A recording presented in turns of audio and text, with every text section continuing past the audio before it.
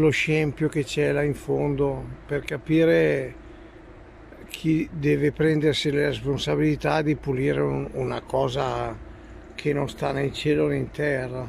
Non più tardi di due mesi fa la zona era pulita, sgombra da rifiuti.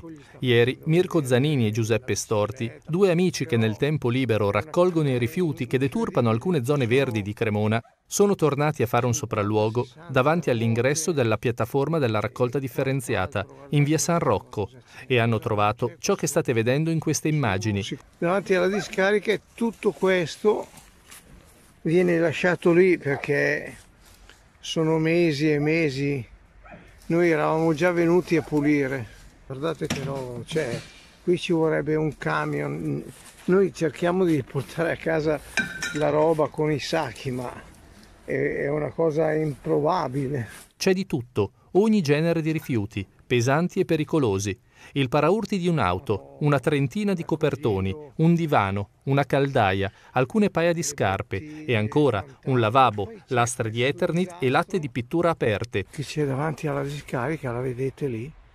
Qui a 20, a 10 metri, quant'è? C'è tutta questa roba qui. Ma sotto c'è di tutto.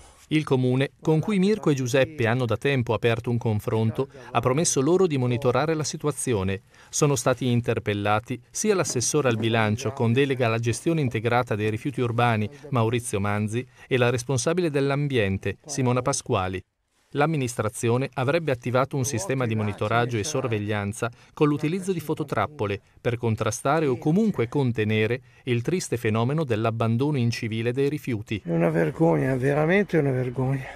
Non si può lasciare un territorio in queste condizioni.